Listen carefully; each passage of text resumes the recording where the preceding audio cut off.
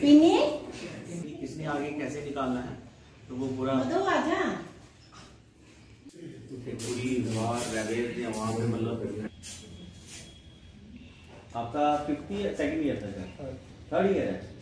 और मैं यूक्रेन में विनेशिया नेशनल मेडिकल यूनिवर्सिटी में पढ़ता हूँ। और जैसे ही वॉर स्टार्ट हुई थी तो 24 को 25 को हमने सोचा कि अब यहाँ से निकला जाए, क्योंकि गवर्नमेंट की भी एडवाइजरी आ चुकी थी कि you can leave the country तो हमने वहाँ से फिर एक बस की एंड वी हम लोग फिर रोमानिया बॉर्डर के लिए निकले। फिर उसके बाद रोमानिया बॉर्डर पे रुके, दो दिन वहाँ पे रुके क्योंकि हमको सबको एक लाइन में जाना था जो जो आगे थे पहले उन्होंने बॉर्डर क्रॉस किया, हमारा दो दिन बाद नंबर आया वहाँ पे बॉर्डर क्रॉस करने में।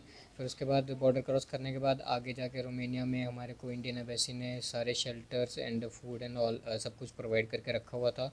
हमने वहाँ पे तीन दिन का हमारा वहाँ पे स्टे रहा, क्योंकि अकॉर्डिंग टू द सब कुछ सिस्टम सेटअप था कि पहले जो जो फ़र्स्ट पहले आए हैं, वो लोग पहले निकलेंगे यहाँ से। तो फिर उसी तरीके से हमारी चार तारीख को हमारी फ़्लाइट अनाउंस हुई कि आप लोग चार तारीख को निकलेंगे। तो फिर हम लोग चार तारीख को वहाँ से रोमेनिया, सचेवा इंटरनेशनल एयरपोर्ट से हम लोग आए, दिल्ली, इंदिरा गांधी इंटरनेशनल एयरपोर्ट और फिर उसके बाद वहीं से हमारी गवर्नमेंट ने दिल्ली एयरपोर्ट से जम्मू तक की कनेक्टिंग फ़्लाइट भी थी हमारी, फिर हम लोग यहाँ पे उतरे।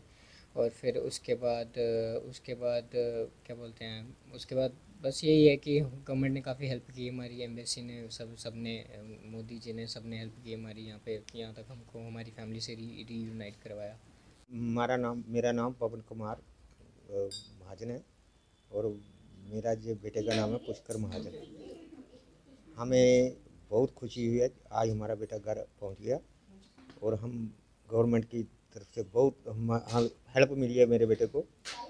और जो भी है, जो बहुत है, जितने भी बच्चे बाकी भी हैं वहाँ, वो सर्वकुशल अपने घर लौट जाए। गवर्नमेंट ने हमारा पूरा जो हमारे बेटे का और हमें भी पूरी ही तो ये संवेदना दी भी कि आपका बच्चा कुशल मंगल घर पहुँच जाएगा। आप इसकी चिंता बिल्कुल मत करना। और जो हमारी जो एडमिनिस्ट्रेशन है इसने भी पूरी हेल्प की है। हाँ। प्रधानमंत्री की तरफ़ से प्रधान जो हम चाहते हैं भी ऐसा प्रधानमंत्री सभी कंट्री को मिले और जो इतने अच्छे प्रधानमंत्री हैं जो जिन्होंने हमारे बच्चों को निकालने की कोशिश की है और बहुत ही बढ़िया लग रहा है।